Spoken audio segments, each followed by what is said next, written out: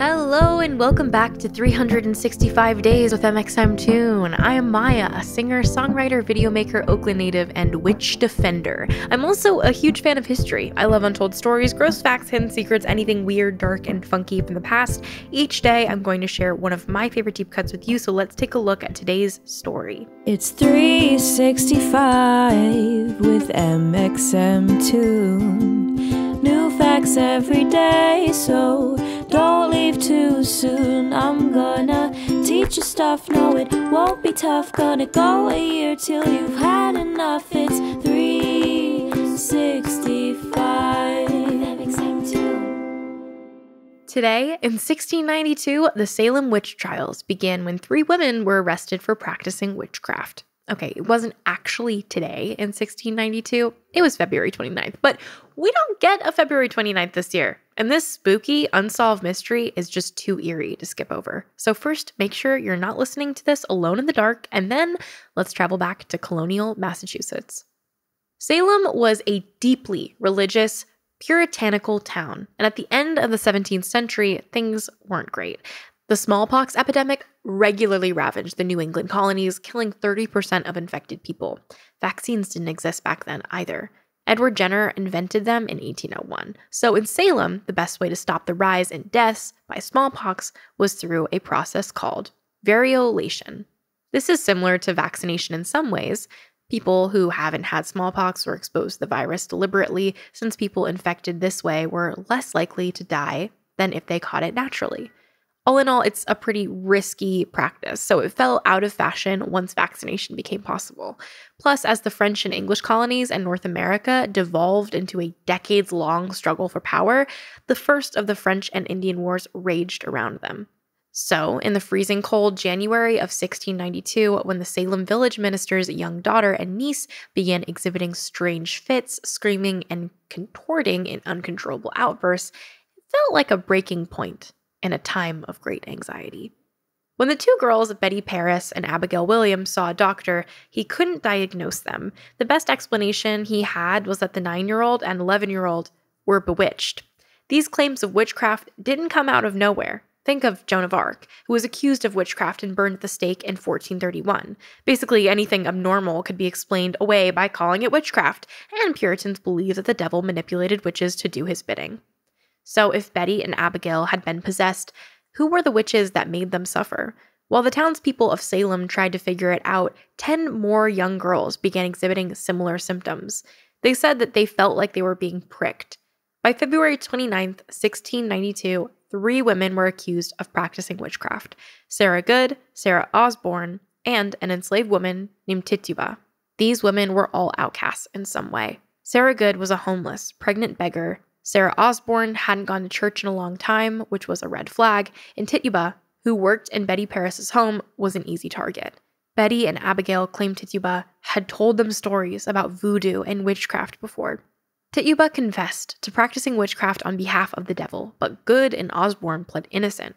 While Tituba was eventually let go, Good was executed by hanging, and Osborne died in prison. In accordance to the church's teachings, the court preferred that women confess their sins, then pledge to get better. Those, like Good and Osborne, who maintained their innocence, were often sentenced to death. In 1963, over 100 people had been imprisoned. 14 women and 6 men were executed. But in court, how can you definitively prove supernatural activity? Here's where it gets even weirder. For one thing, the courts accepted dubious accounts of spectral evidence as fact. So when those afflicted by witchcraft provided testimony, they sometimes recalled seeing an apparition of the person who was possessing them. That was enough to implicate the accused of witchcraft. Another common practice was the touch test. While a victim was having a fit, women would take turns touching the victim. If the victim stopped seizing while you were touching them, it meant that you were a witch. But perhaps the most bizarre way that people of Salem identified the source of this strange behavior was by baking witch cakes. Please don't try this at home. Back then, it was believed that if you took a victim's urine, mixed it with rye meal and ashes, and baked it, you'd have a witch cake. Then, if you fed the witch cake to a dog, the animal could reveal to you the culprit. The logic behind this was that witches held familiars, or pets, that would help their owners do their bidding. The Salem witch trials finally came to an end in the summer of 1693 when the governor of the Massachusetts Bay Colony learned that his wife had been accused. He was outraged and ordered that the trials end. We never did learn what caused the young girl's inexplicable convulsions and seizures, but historians have some theories. One explanation is that the villagers' rye flour might have been infected with a natural fungus from which the hallucinogenic drug LSD is derived from. Over time, the continued consumption of this fungus can cause poisoning. Here are some of the symptoms convulsive seizures and spasms, mania, psychosis, and a strange tingling in the skin. Sound familiar? Others theorize that the girl's behavior was psychological, not biological, that it was a reaction to the traumatic events that caused such anxiety in the colony before the trials.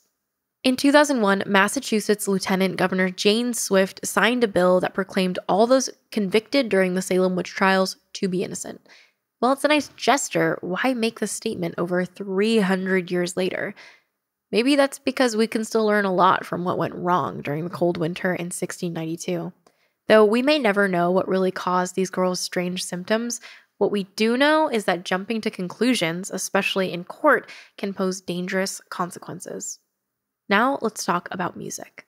On this day in 2009, Flo Rida's Right Round hit number one on the Hot 100, where it would remain for six weeks. Featuring on this song was an unknown singer named Kesha Sebert, who you probably know as Kesha. She didn't make any money for a contribution to the song, and she wasn't even credited on the initial release of the single. So, as an ironic reference to this slight, she added a dollar sign to her stage name. The following year, her debut, Animal, hit number one, and in 2017, her triumphant record, Rainbow, reached the top as well. So, Right Round certainly wasn't her only chance to have her name be on the charts, dollar sign or not. And now for our final segment of the day, I'm going to be going into my own photo archives to see what I was up to on a February 28th in my life. I don't think I did anything exciting on any 28th of February in my entire life. I literally have no photos from a 28th of February, beyond one in 2019 where I had a bunch of photos of my cat. I quite literally didn't do anything exciting. I'm so sorry. But hey, I can't be too hard on myself. I'm literally 20. I have not lived nearly as many February 28ths in my life as I will going forward into the future, or at least I hope so. So maybe there isn't a fun fact today, but hopefully there will be one for tomorrow. Thanks for going back in time with me, and remember to subscribe wherever you listen to podcasts. You can come back tomorrow for more stories from yesteryear. It's 365 with mxmtoon every day. So don't leave too soon. I'm gonna teach you stuff. No, it won't be tough. Gonna go a year till you've had enough. It's three, six.